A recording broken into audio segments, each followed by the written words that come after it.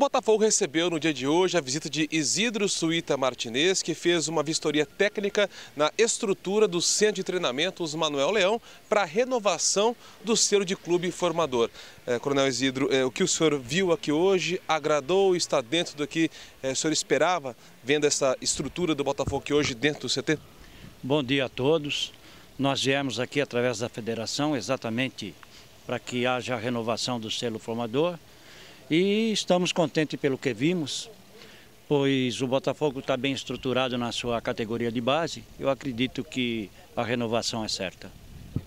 Dos, dos, detalhes que foram é, vistos, é a terceira visita do senhor aqui, essa estrutura do CT Manuel Leão. É, há pontos é, mais positivos do que negativos? O que, que o senhor pode fazer de um balanço mais ou menos do que o senhor viu?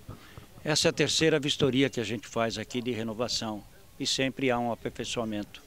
Isso é muito bom para o futebol, para o Botafogo e para o futebol paulista. Agora, quais são os próximos passos? Essa renovação é automática? Depende de mais algum outro detalhe? Perfeito. Como das, da, das vezes anteriores, nós vamos fazer um relatório do que foi visto aqui, mas o, nós vamos fazer um, um repasse do, do, do processo que foi feito e em seguida será remetido à CBF, que vai provavelmente vai aprovar para a nova certificação do Botafogo. Essa renovação seria por mais quanto tempo e qual que é a importância de um clube ter um selo de clube formador como esse? Essa renovação provavelmente será por mais dois anos, pela estrutura que nós vimos aqui e que o Botafogo está tá cedendo aos seus atletas. E o selo formador é um documento que de suma importância para o próprio clube.